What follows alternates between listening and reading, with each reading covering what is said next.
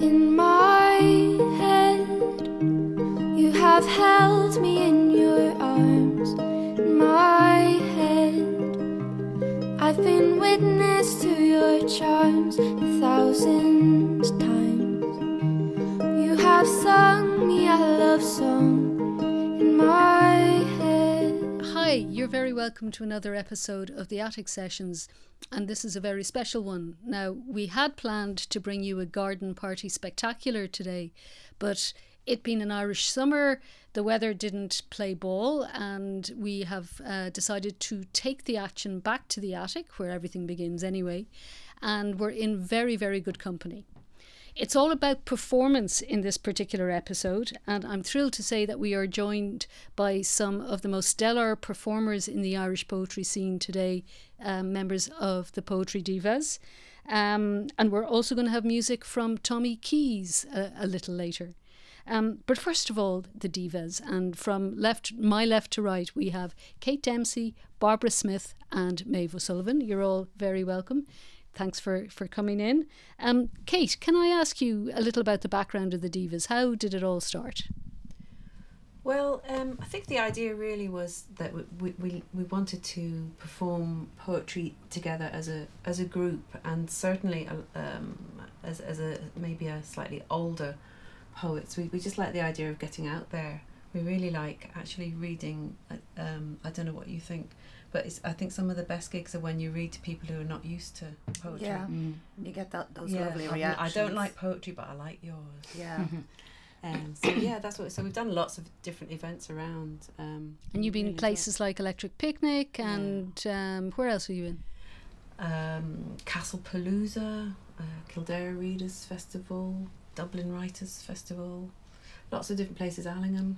Very good. And uh, just back from beautiful West Cork and Anamcara. That's right. Yeah, yeah. Lo- all the way down to Beara. So you get all the, all the good places. Well, we're going to discover why now. Um, I'm going to basically hand the floor over to the divas for the next while. So I'll get out of shot and let you on with it.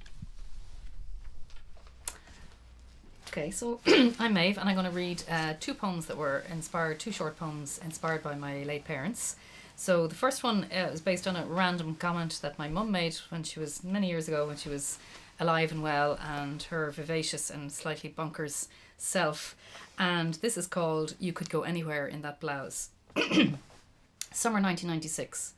But where should I go, Mum, in the blouse that washes like a dream? To the moon or Mars, maybe? or just out for strawberries and cream. Summer 2006. Her surprise call comes through on the freeway south of LA. I say, This'll cost a fortune. Are your clothes working out okay? And the second one is uh, called Triolet, uh, which is the, the name of the form that the poem is in. One of the songs he'd sing was The Darling Girl from Clare. All the listeners would cling to each of the songs he'd sing but now I find them haunting like a mantra or a prayer. One of the songs he'd sing was The Darling Girl from Clare. And over to Kate.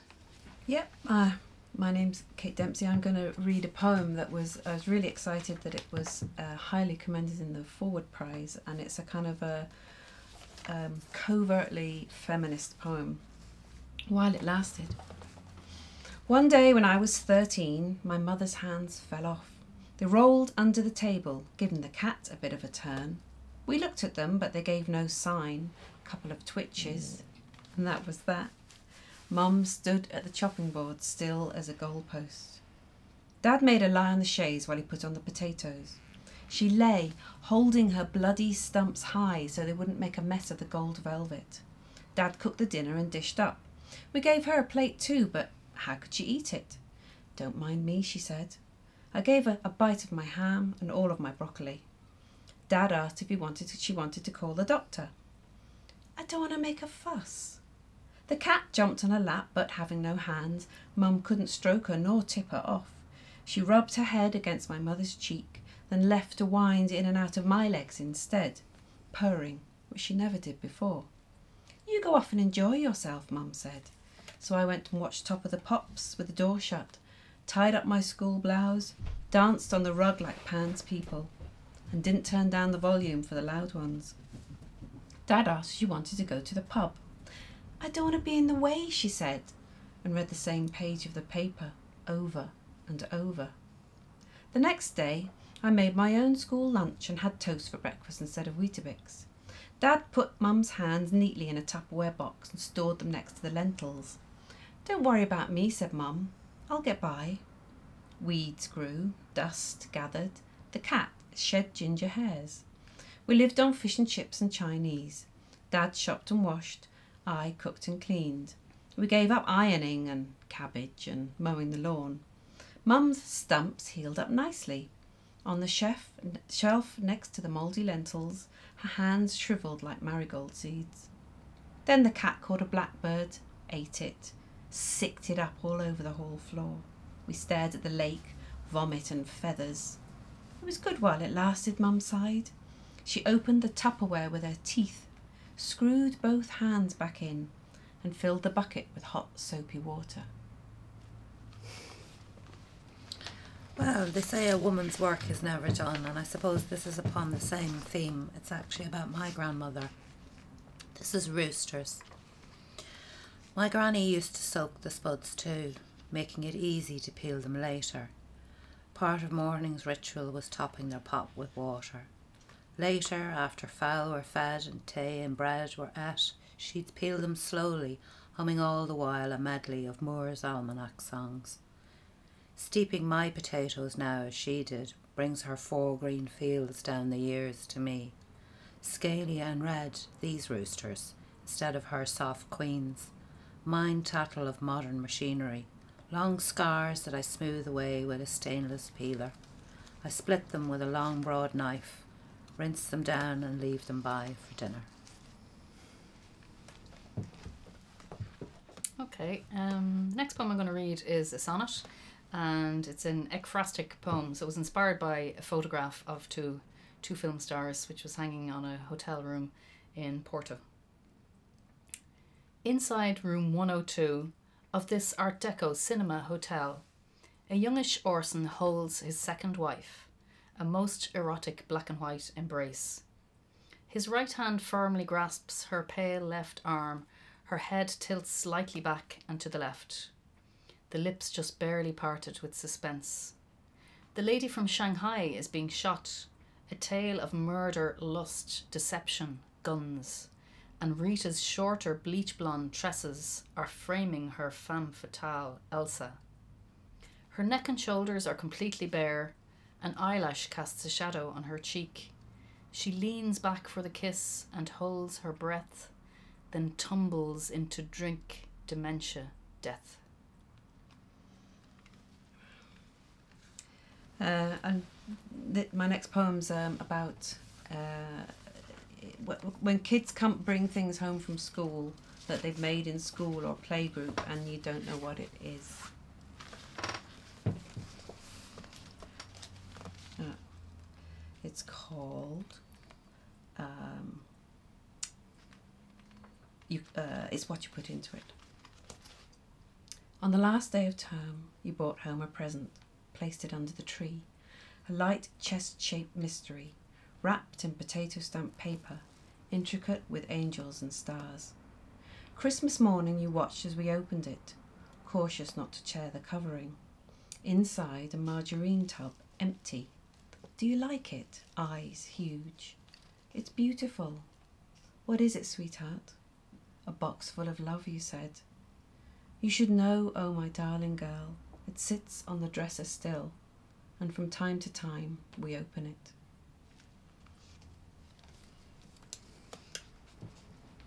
So, me?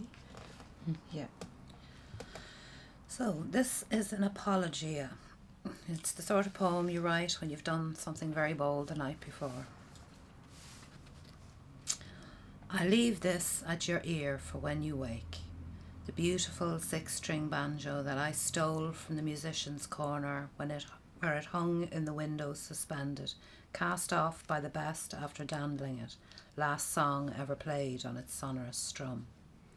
This is the gift that I bring home to you from the house where the clocks always read ten to two, and tankards are strewn round the walls as though thrown high by drunken trolls a banjo with an engraved silver bridge left here for you to pick notes from its tight, silent drum.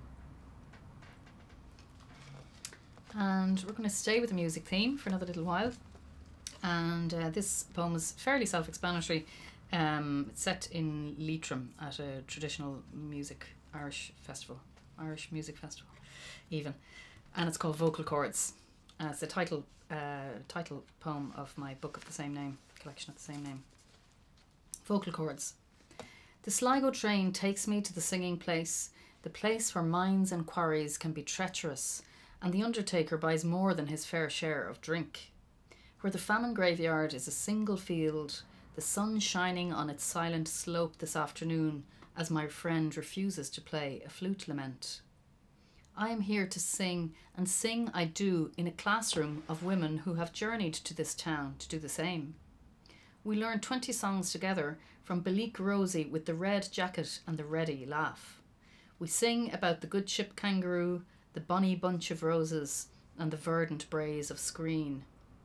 We sing next door to the harpers and fiddlers. We drink tea with the box players and the set dancers. We nod to the bodhrán and whistle players. We sing. Our instruments are invisible. We carry them everywhere. They are our own, and only they can marry the words to the tunes. In Monica's bar, we swap songs like beads, applause stringing this one to the next. We sing of emigration, of love charmed or doomed, of death and Napoleon. We can't stop singing except to listen to another song. We don't want the singing to stop, but voices will not hold out forever without a break. The train home is silent.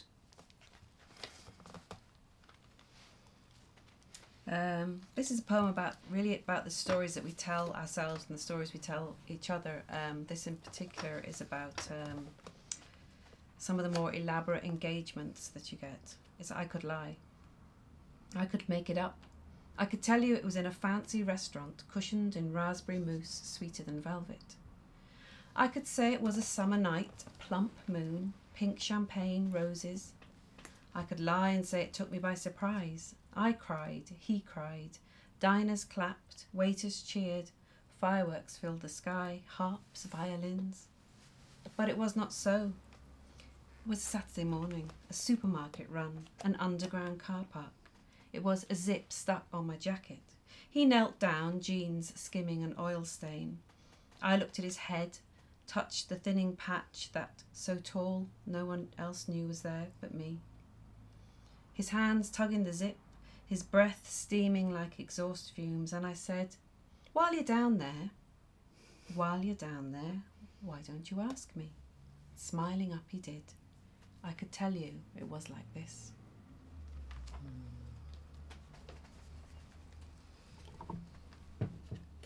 Okay, uh, Lotus Gate. Oh. Sorry. Okay. Achieving the Lotus Gate. In winter, the uphill path to Madame Jing's is treacherous. I watch for loose stones among the grey brown gravel, and the birds are almost silent as each step quarries me, wincing on wooden pattens. Madame unravels yards of stinking cotton from my feet, and her thorough thumbs knead them from numbness. She honours my feet with warmed water, loosening shedding skin, trims each bruised nail to the quick. She rebinds each foot in cotton length, soaked in herbs and animal blood. A neat figure of eight turns over instep, gathers toes, underfoot, and round the heel, each pass tighter than the last. And then my thoughts cringe homewards as I totter out under a brittle moon, my own weight crushing each foot into the correct shape. Like most people, I enjoy traveling, and uh, I think, like most writers, I, I find it quite inspirational just being in a different environment, a different stimuli. And uh, I'm fortunate to have a friend living in northeast Italy who I visit every, every now and then. And this is a sequence of haiku that I wrote. Uh, the region is called Friuli, and the sequence is called Friuli Dusk. Grado promenade, daughter linking mother, scentless oleander. Friuli dusk, an old woman in green closing her shutters. A lizard scuttles between two stones, World War One monument. Murano Island, an exchange of glasses reveals a glass eye. Its heart shape taking some of the sting out, mosquito bite. August raindrops trying to catch up, city fountain. Crunch of karst underfoot, cicada song above, Rilke way. Such stillness, this cliff top castle, its stringed instruments. Miramar Castle, the view of Trieste clearer after last night's storm. Uh, for my last poem, um, I'm reading a reading one called Verbatim. Um, I've lived in Ireland for more than twenty years now, and when I first came here, what one of the one of the many things that took a bit of getting used to was how the Irish use swearing as punctuation, as adjectives, as nouns, as verbs, adverbs, prepositions. Uh, and this old lady explained to me where this all comes from. Verbatim. It's all the fault of the British, she said. The cursing came in with the troopers, the other ranks, and their wives as bad. Before that, we Irish never swore. No curse would pass our tender lips, no drop of whisky, no beatings, no casual cruelty. Sure weren't we a gentle race until the squaddies boated in? We were milk and honey, the soft heads of babes, the pigs at Christmas, root vegetables and stone walls. What did we have to swear about until the British came? Oh. Last poem, and this is, I guess, what you would call a changing room poem, and it's the sort of poem that any woman who's ever gone into a changing room to try on something may recognize. Specular effect. It's bad luck to centre yourself between two mirrors, to rear your view, check the jeans cut, see your eyes horrified by an infinity of huge arses.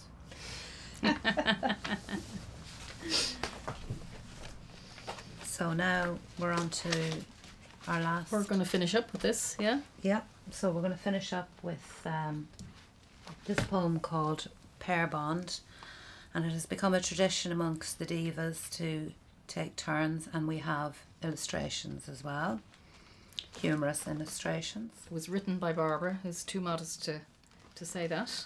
And, uh, and it is, of course, dedicated to Dolly Parton.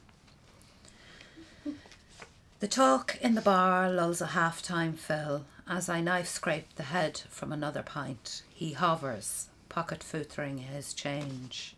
Steadying for the ask, he addresses my full frontals, my baby buggy bumpers, my Brad Pitts, my boulders, my billabongs, My squashy cushions, my soft focus bristles, my motherly bosoms, my matronly bulk, my Mickey and Minnie, my Monica, Lewinsky's, my Isaac Newtons, my snow tires, my speed bumps, my Tweedle twins, my milk makers, my Mobutus, my num nums, my Piazzadoras, my Pointer Sisters, my Honkers, my Hooters, my Hubcaps, my Hummers, my Eartha Kits, my Eisenhowers, my God's milk bottles, my Picasso cubes, my chesticles, my cha-chas, my coconuts, my dairy pillows, my devil's dumplings. My objectified orbs, my uber boobs, my one parts Lara, my two parts globe, my skyward pips, my lift and separate, My airbags, my feeders, my mammy glands, my Bob and Ray, my big bouncing Buddhas, my sweater stretchers, my sweet potatoes, my rosaceous rotors, my trusty rivets, my mellifluous melons, my mau maus, my tarty, my taut, my pert palookas, my Jehubis, my kicking Kawangas, my Agravic gobstoppers, my immodest maids, my Scooby snacks, my squished in schlobes, My cupcakes, my soda breads, my bloomin' baps, my brilliant bangers, my brash bazookas, my windscreen wipers, my Winnebagos. my wop-up-a-loo-bop, bop-up-a-loos, my yahoos, my yazoos, and yipping yin yangs, my paps, my pips, my pomme de terre. My pushed up, plunged down, paraded balcony, my slow reveal, my instant appeal, my decolletage, my fool's mirage. And I watch him pay up, steady up, and leave.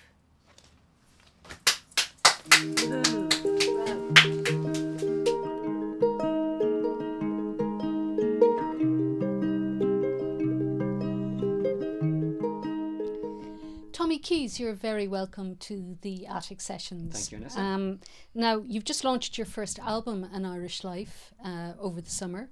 And uh, thanks for coming to sing actually a song that's not on that first album, but on uh, another one of the albums. There are three in total.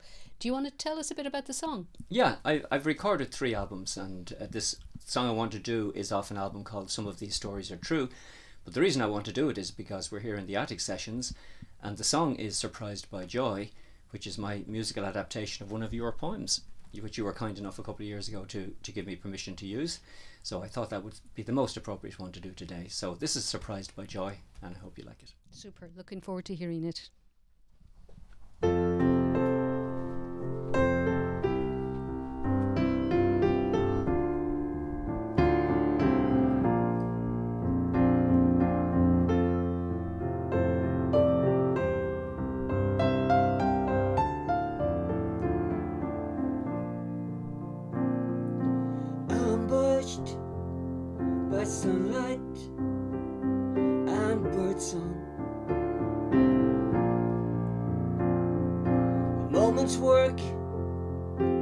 Time it took to connect a call. Hear a flat tone. Hair's breadth between light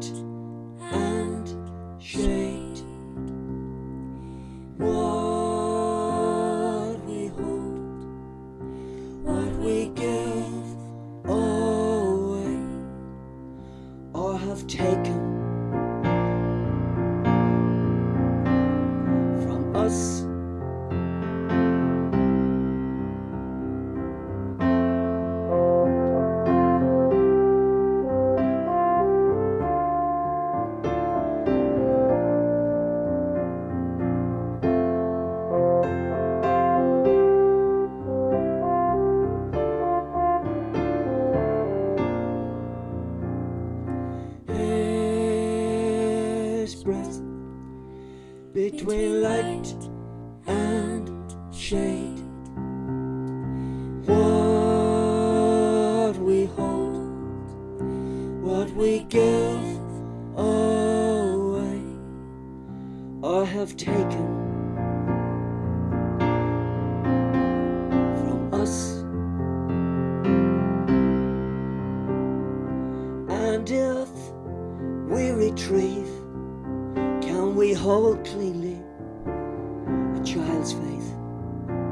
that the sun will always rise, the blackbirds sing.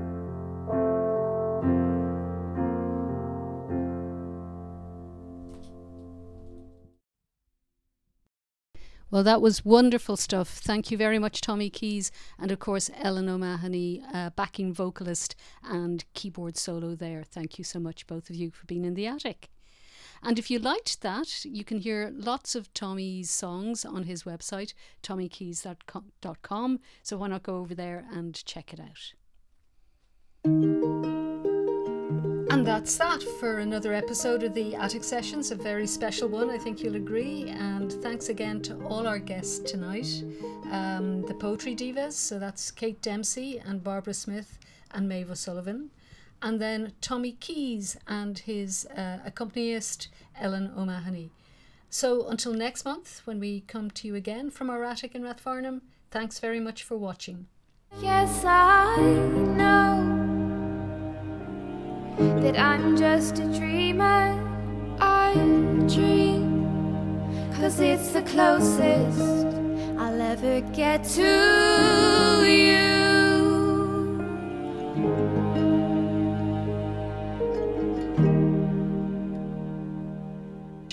For us. Yeah. Thanks for having us. And Peter.